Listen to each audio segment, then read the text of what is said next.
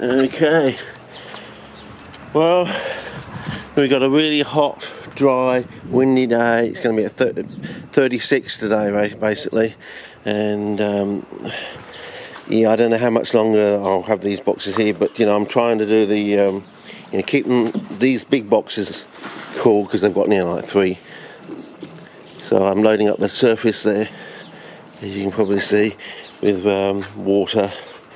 And, I, you know, you can do something like that as well, but that's not going to help much when it's on a slope. But um, they're all seals. I don't know how long these are going to survive. I noticed one of the things in here, um, in this one here, particularly towards the corner, there was one that sort of looked a bit different, and I sort of, I, I was bugging me what it might have been in those close-up photographs down there. I think it's a Drosera intermedia.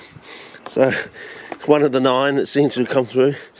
Yeah, been watering these things, but uh, I think I'm going to have to be watering them, watering them twice a day or something. But um,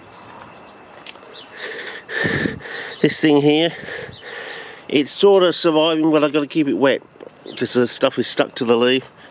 But you have to keep it wet, sort of thing. So, uh, oh, I don't know. More work, more work, more work. And I'll set up a few more of these uh, over the next few days, and we'll see how we go. So, um, yeah, I don't know. Something seems to be nibbling the leaves, these things down here. Seems to be going quite well now. That rhubarb's alright. This one's struggling a bit because the soil just keeps drying out. Got another one in here that's going to, uh, it's reasonable. So, um, yeah. More work, more work, more work.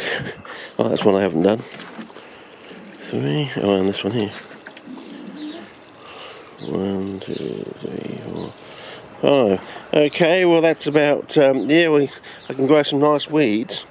Look at the, the thickness of the stem on this thing. You can imagine you have a, how tough it is. It's like almost like a Drosera gigantea stem. They weren't quite as thick as that, but you know, up to a nice big fat pencil or more, you know, uh, uh, felt pen, you know, one of those sort of felt pen that was slightly thicker than a, a normal HB sort of size thickness of a pencil, you know, those sort of hexagonal HB sort of things. Um, the next thing up from that was like, you know, your, your, you know, your felt tip pen things. Do I have any? I don't know. Let's see. Do I have one? No, not that quite. Uh, do I have a?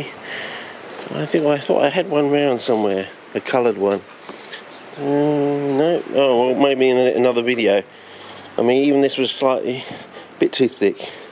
Um, so reasonable thickness they were, you know. And as I said, you used to stub your toe in a Wellington boot. I don't know what it was, the way they sort of arranged themselves. Every every season, every time you were at the swamp, some part of the day you'd you run into them. I don't know how it, they forced you to go a certain way and then you got you got caught on one. But you used to stub your toe on it. In while your toe was in Wellington boots, you know, gum boots, galoshes, what do you want to call them, and it would hurt. You know, they they were so solidly growing in the ground. You know what I mean? They were, you know, and if you've done your, your book reading, you will. Um, what the heck happened there? Did you hear that and see that? Oh, it's just fallen down. It just it slipped off. But um, yeah, if you've done your work and you've done your reading, you know, cormous, bulbous, and tuberous plants, you know, they go down at least two meters onto a, like a a, um, a, clay sandy zone interface sort of thing, you know. And then of course it's known as a rheophyte. A plant likes to be slightly submerged for a good proportion of the year, sort of thing, you know. So it's a real swamp plant, you know. And yet it's also the most robust. It's probably not the tallest, and well, it's the most robust sundew in the world, sort of thing. And you got to think, well, why does it grow here in Australia, and why is it almost like a tree? You know, so you basically got yourself a small carnivorous tree. And I said, I, I, when I was there, they used to come up to my shoulder level, sort of thing, you know, uh, as, as a young, nine, you know, uh, 9, 10, 11, 12 sort of, yeah, you know, year old child sort of thing. So, you know, it was a substantial small Christmas tree sort of thing. And, you know, as I said, very sturdy in the ground. And, um, I just can't see photographs online like that. Whether people just aren't going out to the same sites, whether the same sites aren't there anymore. And of course, the question is, what was so special about these sites then aren't aren't in existence anymore?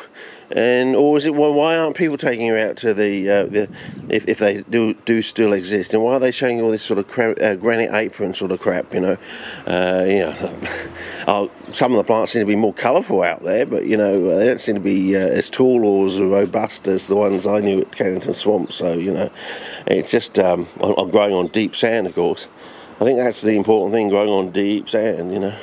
So uh, anyway I just thought I'd give you this sort of, you know, fill-in sort of thing, but um, I'll have to check in the box if anything's been roasted, you know.